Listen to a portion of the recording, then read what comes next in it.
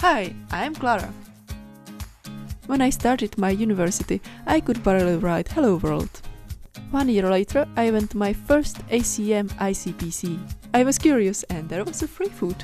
I liked it, so the next year I went there again, advanced to Central European Regional, and liked it even more. I became addicted to competitive programming. Started serious training at school, at home, all the time on whiteboard, online chatted Codeforces.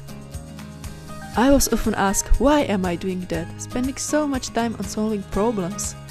I was even suggested to go back to the kitchen, that this is not for girls. I never let myself be discouraged. We were three times on regional, never made it to the finals. But I don't care, ICPC gave me much more. It gave me an opportunity to meet a lot of talented people with similar interests. With my teammates and coaches, we spent countless hours solving problems. We even attended a programming camp in Petrozavodsk, Russia. My teammates are amazing problem solvers, but for me, they are much more. ICPC gave me knowledge and problem solving skills.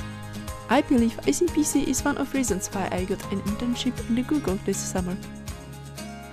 Most importantly, it taught me to cooperate, endure, concentrate, and never give up. Participating in ICPC made a big difference in my life, in a positive way.